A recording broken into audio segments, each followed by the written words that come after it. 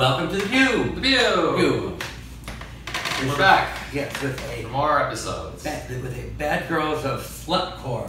Um, uh, It's a term that we've, uh, I don't know if we actually have made that up or if it already Hmm. exists. It definitely already You know, exists these days, concept. anytime you make anything up, it already exists. That's true. I did a hashtag the other day that I thought nobody would ever, um, would ever have thought of. It was like thirty-seven thousand of them. So. Um, A mere Google search would have told you that. a hashtag? You could you hashtag Google searches? You I mean, can- you can Google search hashtag, Yes, and what happens?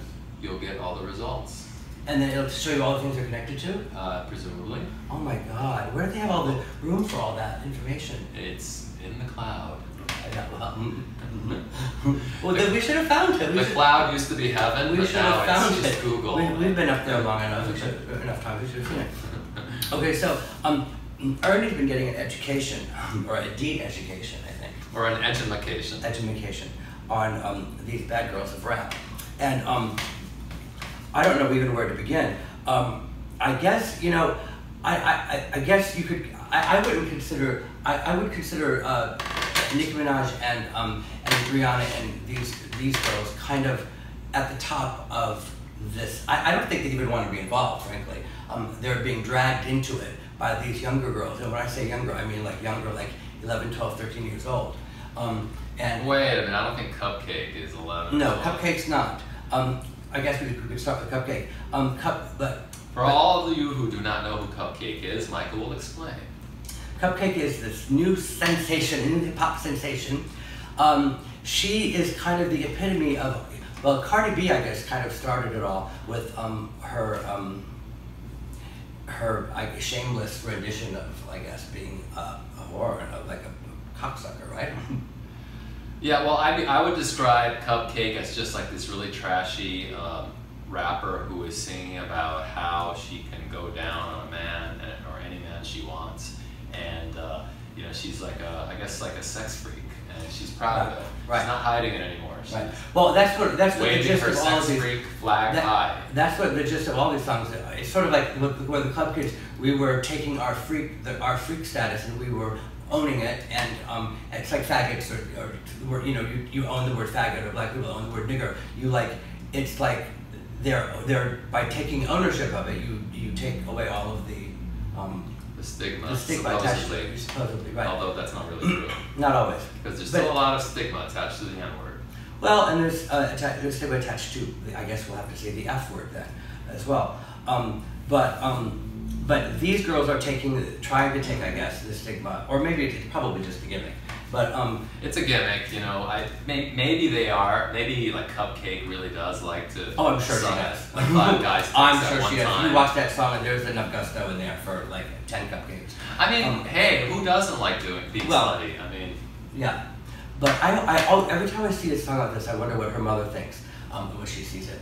But um, Well, her mom's mom- probably video, her mom- probably doing the, the videography. Well, one of the mothers, um, bad, uh, bad, bar, bad is it Bhad Bhabie? Bad no, no, no, no. Lil, Lil Tay. Lil Tay is the girl and Um, she's the a Chinese girl. Um, she they lived, they were from Toronto.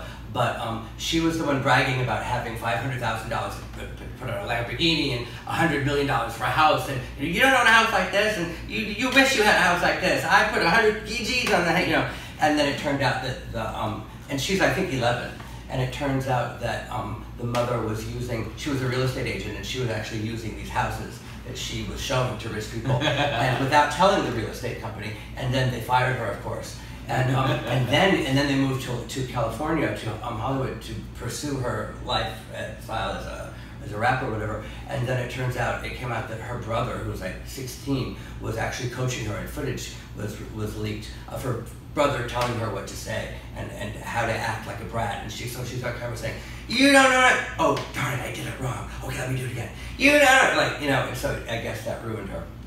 But so she's part of this little group, this group of other girls. Um, so she from- slut whore too. from Dr. Yes, and they were all they were all coming from Dr. Phil. Bhad Bhabie um, came from Dr. Phil. She was she was on the show as a bratty teen, and um, Dr. Phil told her she'd never amount to anything. She said she wants to be a hip hop star. He said, well, you have to go to school first. Nobody will ever hire you. well, two months later, she took that. Did any hip hop star go to school? Well, yeah.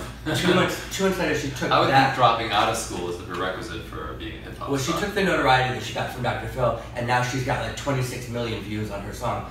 Uh, on, on all of her songs are like you know in the tens of millions of views, and she got signed to a major label, label, and she's like super rich now. So they approached Dr. Phil and they asked him what what he thinks of that now that he's made this he's made this star, and he was like you know he turned it Did he around. apologize? No, he said that He well, should have apologized to America. he said that he was sorry that her parents are um, using her to um, and and um, they don't that they don't care about her mental health and that they're Oh, okay. Well, first she was like never gonna amount to anything because she's crazy, and then now her parents are taking advantage of. Right. I- Um, you know, not like not like he took advantage of her.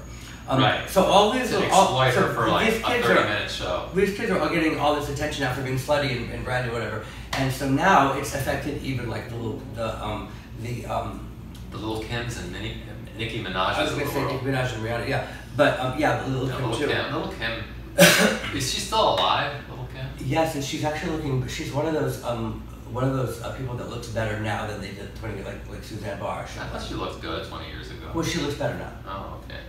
Um, but now alive. they're kind of um like uh, like Cardi B came after um after um Nicki Minaj after Fashion Week threw her red bottoms at um at Nicki Minaj. Yeah, I mean, it's all just kind of stupid. That's all we have to talk about. I like. Uh, wait a minute. On one last note about uh, about Cupcakke, I love that line in her song about how about her pussy smells like baby wipes and not sardines. Oh, I like the um. She doesn't want to mess up her nails, so she picks up your dick with uh, with chopsticks. we'll be right back. And now a word from our sponsor.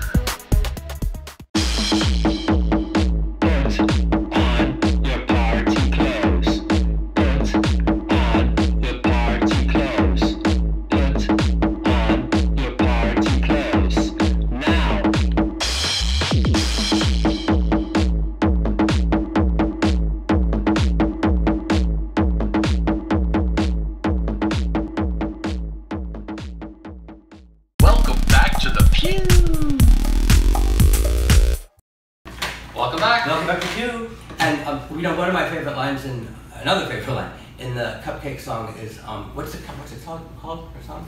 Uh, I don't remember what the song. I mean, she only has Deep like. Throat. Deep Throat. Oh yes, Yeah. Deep Throat. In Deep Not Throat. to be confused with Cum Shot. Her, Well, yeah. her other video. One of my one of my favorite lines is um, uh, she doesn't need to put drugs in in a guy in a, in a guy's drink to get him to uh, let her give him a blowjob because she's not Bill Cosby. And um, it, it came out in this today. What coincidence! It's um, J Lo, uh, Bill Cosby. I love the Daily News and the New York Post headlines. Um, I guess he's gone to prison now. You know, I'm just finding out that when last time when he was taken away to the police that he yelled, "Hey!" I didn't know that. I saw that when I was looking this up. I don't believe he did that. I they have it on video. Oh, okay. Um, accusers rejoice. I hope he suffers. I mean, I guess. He will. Oh yeah. Yeah. Well, It's no party in jail. do we have any um bitches want to know? Uh, no. Um, we're not. And this time, we're not going to make fun of Bill Cosby. We're not going to say that he drugged us. We've already done that. Yeah. And it didn't go over so well. Yeah, we didn't. People didn't think it was funny. We No, we people thought we were serious. Oh my We God, were- that's we were right. contacted by an attorney. Oh, that's right. well, they say the best satire is often confused for the real thing. Got that. Yeah. See you next time. Bye.